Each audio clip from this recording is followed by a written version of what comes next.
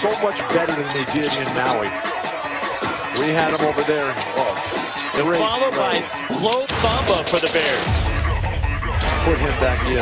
You think he's good? I think he's really good. Makai Mason with a three to tie the game.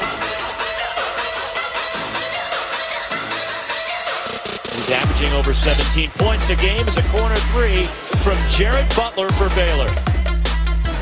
By four points up in Providence. There is Makai Mason on the loose oh, ball and beautiful.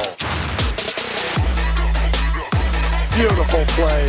Power move to the basket. Tristan Clark. Wow. That's such important. Makai Mason. Oh, yes. The first half comes to a close. Runs this team from out in front. Mario Kegler the putback on the second chance, and Baylor goes in front.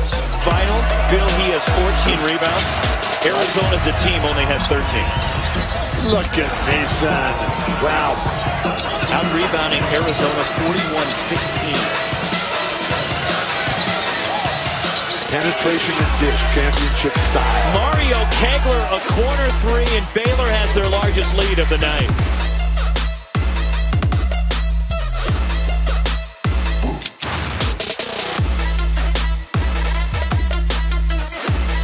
Playing like T.J. McConnell, like John Stockton. What a player.